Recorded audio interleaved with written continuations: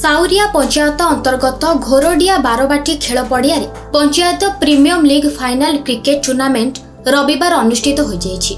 ଆୟୋଜକ ସ୍ୱାଧୀନ ସେବା ସଂସ୍ଥାର ଆନୁକୂଲ୍ୟରେ ଅନୁଷ୍ଠିତ ହୋଇଥିବା panchayat premier league match season ଟୁରେ ସ୍ଥାନୀୟ ଘନିପୁର ଓ ସାଉରିଆ ପଞ୍ଚାୟତର ସମୁଦାୟ ଆଠଟି ଦଳ ଅଂଶଗ୍ରହଣ କରି ସେମାନଙ୍କର କ୍ରୀଡ଼ା କୌଶଳ ପ୍ରଦର୍ଶନ କରିଥିଲେ। ରବିବାର ଅନୁଷ୍ଠିତ ଫାଇନାଲ ମ୍ୟାଚ୍ରେ ଫ୍ରେଣ୍ଡସ୍ କ୍ଲବ ଓ ଡାର୍କ ଥଣ୍ଡର ଟିମ୍ ପରସ୍ପରକୁ ଭେଟିଥିଲେ।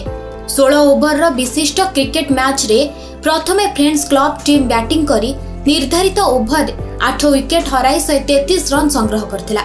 ଜବାବରେ ଡାର୍କ ଥଣ୍ଡର ଟିମ୍ ସେହି ନିର୍ଦ୍ଧାରିତ ଷୋହଳ ଓଭରରେ ସମସ୍ତ ୱିକେଟ୍ ହରାଇ ମାତ୍ର ପଚସ୍ତରୀ ରନ୍ ସଂଗ୍ରହ କରି ପରାଜୟ ବରଣ କରିଥିଲେ।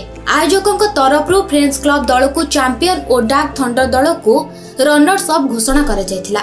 ସ୍ୱାଧୀନ ସେବା ସଂସ୍ଥାର ପ୍ରତିଷ୍ଠାତା ସମାଜସେବୀ ଶଶି ଶେଖର ରାଉତଙ୍କ ସଭାପତିତ୍ୱରେ ଅନୁଷ୍ଠିତ ପୁରସ୍କାର ବିତରଣୀ ଉତ୍ସବରେ ମୁଖ୍ୟ ଅତିଥି ଭାବେ ବରିଷ୍ଠ ସାମ୍ବାଦିକ ପ୍ରସନ୍ନ ତ୍ରିପାଠୀ ମୁଖ୍ୟ ବକ୍ତା ଭାବେ ସୁଜନପୁର ପଞ୍ଚାୟତ ସମିତି ସଭ୍ୟ ଅଜୟ କୁମାର ରାଉତରାୟ ସମ୍ମାନିତ ଅତିଥି ଭାବେ ଘୋରଡିଆ ଶାନ୍ତି କମିଟି ସମ୍ପାଦକ ରମେଶ ଚନ୍ଦ୍ର ପାଟଶାଣୀ ସଦସ୍ୟ ସାକିର ଖାନ ଘନିପୁର ପଞ୍ଚାୟତ ସରପଞ୍ଚ ପ୍ରତିନିଧି ପ୍ରକାଶ ଚନ୍ଦ୍ର ପାତ୍ର ସମିତି ସଭ୍ୟଙ୍କ ପ୍ରତିନିଧି ରାଜକିଶୋର ବେହେରା ସାଉରିଆ ପଞ୍ଚାୟତ ସରପଞ୍ଚ ପ୍ରତିନିଧି ଦୁଶାସନ ବେହେରା ସମିତି ସଭ୍ୟଙ୍କ ପ୍ରତିନିଧି ମହନ୍ତ ମଙ୍ଗରାଜ ଏବଂ ୱାଉପଡ଼ାର ଗ୍ରାମ ପୂର୍ବତନ ୱାର୍ଡ ସଭ୍ୟ ଯୁଧିଷ୍ଠର ମାତ୍ରା ପ୍ରମୁଖ ଯୋଗ ଦେଇ ଚମ୍ପିୟନ ଓ ରନର୍ସ ଅଫ୍ ଦଳକୁ ଟ୍ରଫି ଓ ମାନପତ୍ର ପ୍ରଦାନ ପୂର୍ବକ ସମ୍ବର୍ଦ୍ଧିତ କରିଥିଲେ।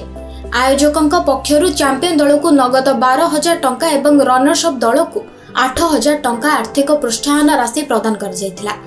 Radhanath Mangaraj man of the match ଏବଂ ଚନ୍ଦନ ରାଉତଙ୍କୁ ମ୍ୟାନ୍ ଅଫ୍ ଦ ସିରିଜ୍ ବିବେଚିତ କରାଯାଇଥିଲା।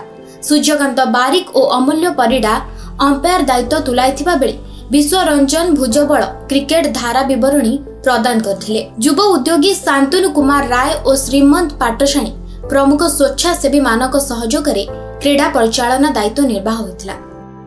ଡେଲାଙ୍ଗରୁ ବିଶ୍ୱଜିତ ପାଢ଼ୀଙ୍କ ରିପୋର୍ଟ ସନଷ୍ଟାର ଟିଭି।